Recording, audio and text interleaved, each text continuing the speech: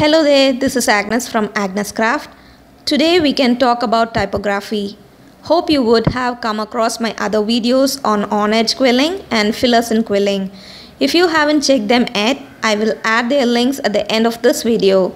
Before we go on to the topic, if you are new here then subscribe and click the bell icon to get notified with our new updates. You can also find me on Facebook and Instagram. Let us first see the materials needed. Paper strips from cardstock. This is from 165 GSM paper and hand cut to 5 mm strips. Tweezer, embossing stylus, cutter, brush and glue. The letters can be printed for getting neat result. It is good to use common fonts like Times New Roman and Arial as they don't come under any copyright issues and are easily available. The Arial font has sharp ends and are easy for beginners. I use a foam sheet and place my working sheet over it. On the top, I place the printed paper. This is Arial font and is 3.5 centimeters tall letters. I use an embossing stylus to write over it. The foam helps to get deeper impressions.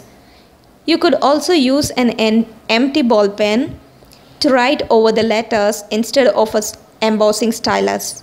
This method of transferring image helps us by avoiding any pencil marks and keeps the final result neat. Here you can see the impressions well.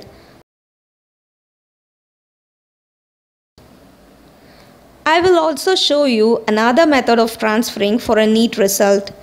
Cut the letters out individually. You could print the letters with mirroring so that you can turn over the letters and paste them.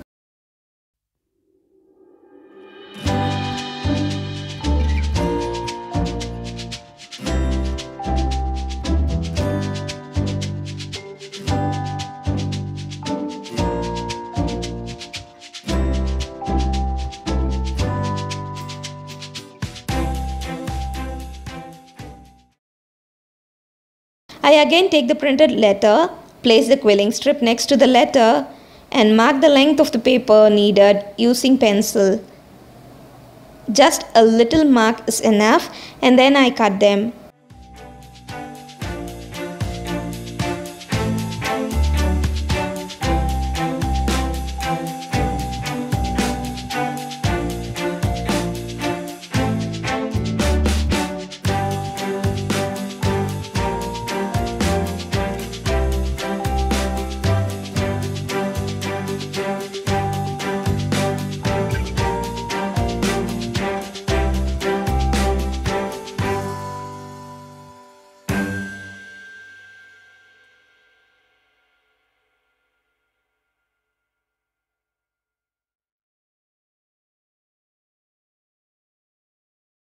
For glue, I use a flat surface on which I apply a thin layer of glue.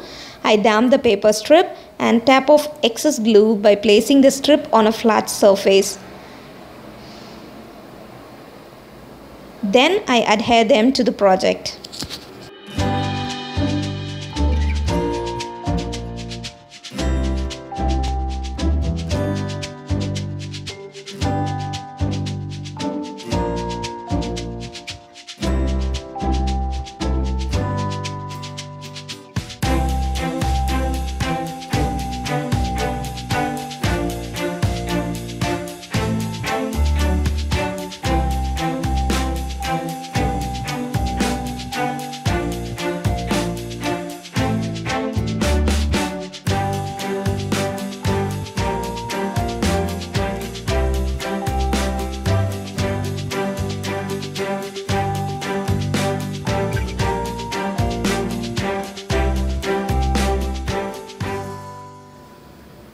Now because the strip is going to meet three surfaces, damp glue on all the three sides of the paper strip.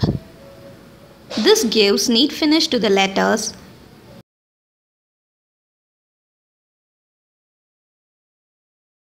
Also make sure that the tips meet sharply.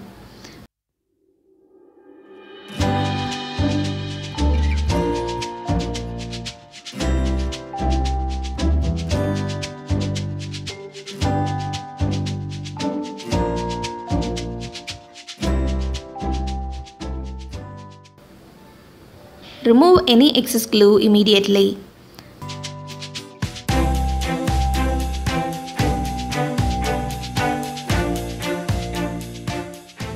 For the next letter, I will show you how to use a long single strip without cutting at each bends. Align the strip near the letter and bend at the corners. Make sure they align exactly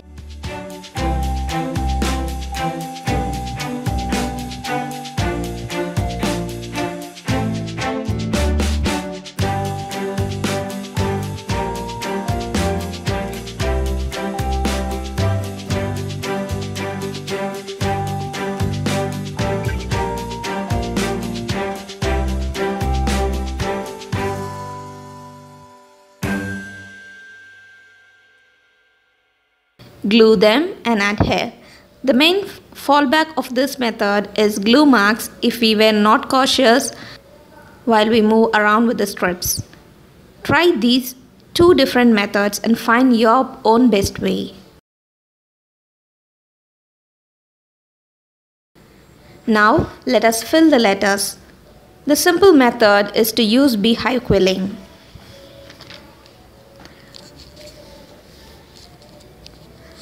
I check the size of the swirl that would fit the text and continue making beehives and later adhere them.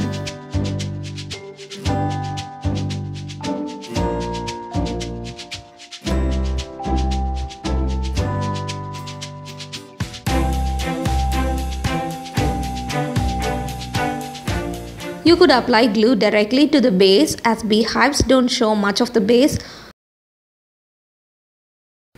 or do in the other way. That is, you could apply glue to the beehives and then adhere them.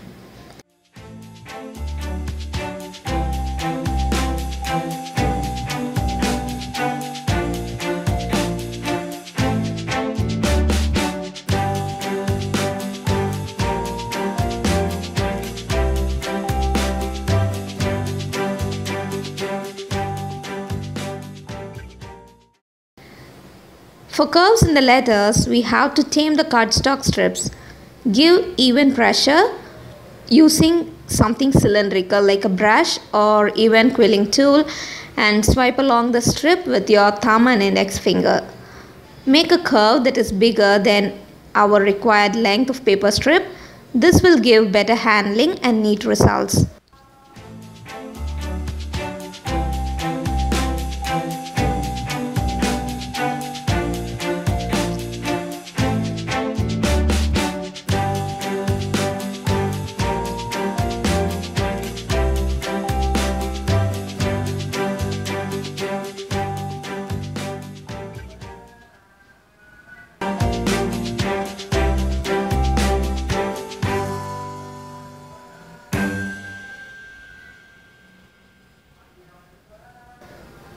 For places where two strips meet perpendicularly, take a little glue in a paper strip and slide them between the junction. Hope these info on typography helped you. Don't forget to give a thumbs up if you like the video. Thanks for watching. See you with another informative video. Till then, it's bye from Agnes.